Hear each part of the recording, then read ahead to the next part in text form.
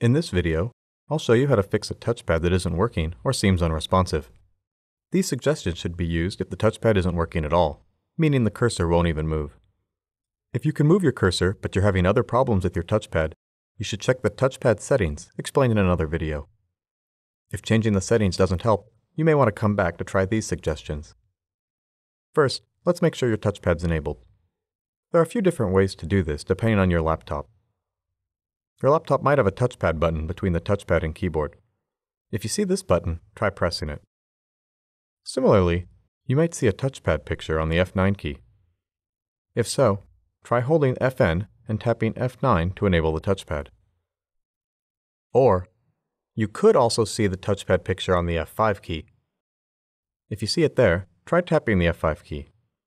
If that doesn't work, try holding Fn and tapping F5.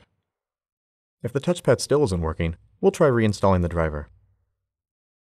Open your web browser and go to support.toshiba.com slash drivers.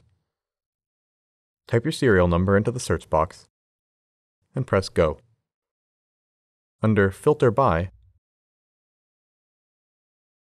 select Touchpad and also select the version of Windows operating system you're using. Most newer Toshiba laptops use the 64-bit version of Windows. If you've upgraded your operating system and your current one isn't listed, select the most recent version with the same bitness. For example, I'm using Windows 8 64-bit. I don't see that, so I'm picking Windows 7 64-bit. Select the topmost touchpad driver.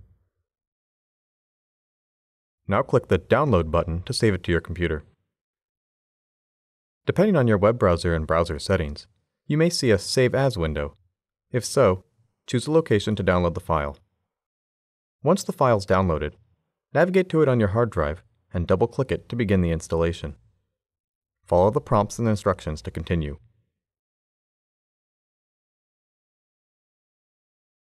When installation is finished, restart your computer and try your touchpad.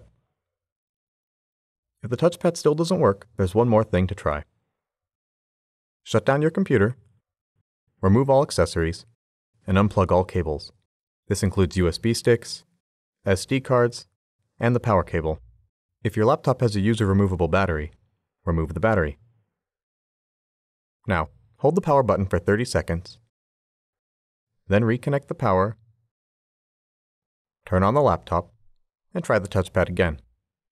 You should now have a basic understanding of the steps to troubleshoot a touchpad that isn't working. For more information, visit support www.toshiba.com.